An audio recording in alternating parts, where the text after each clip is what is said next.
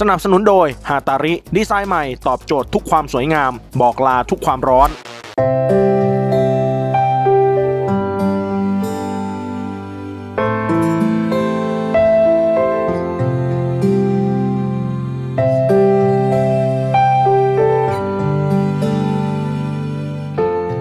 ดิวอริสราที่เพิ่งคลอดลูกคนแรกอย่างน้องไซรัส ในวันสำคัญคือวันที่ 12 สิงหาคมที่ผ่านมา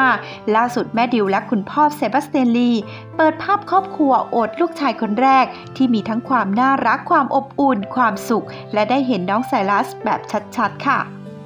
งานนี้แฟนๆ เข้ามาแสดงความคิดเห็นอย่างยินดีด้วย หน้าน้องเหมือนคุณดิวมากๆ เหนือสิ่งอื่นใดจมูกโด่งแต่เด็กเลยไซลาส ยินดีด้วยนะ คุณแม่ดิวยังให้ FC เห็นหน้าลูก love love ยินดีด้วยนะคะพี่ดิว ขอให้แข็งแรงเร็วๆ ทั้งคู่ค่ะ